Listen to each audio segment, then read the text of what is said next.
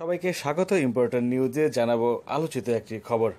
রাজনীতিতে শেষ বলতে কিছু নেই কিংবা রাজনীতির হাটে নেতা বেতা বেচাকেনা নতুন কোনো খবর নয়।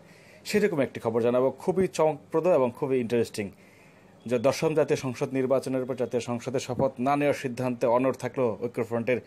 সিদ্ধান্ত উপেক্ষা করে দুজন প্রার্থী শপথ নিয়েছিলেন সুলতান মনসুর এবং মোকাব্বির খান।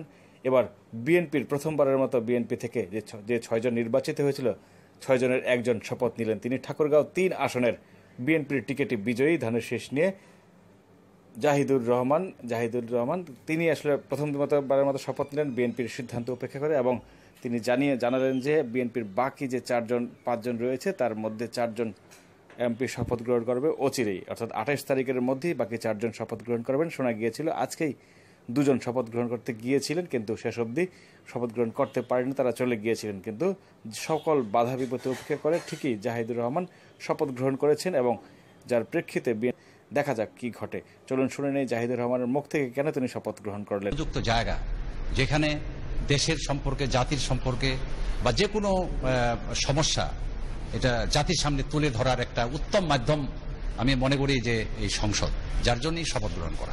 যে আমার এলাকার মানুষের যে প্রত্যাশা, নিষ্ঠার সাথে যতটুকু সম্ভব পালন করে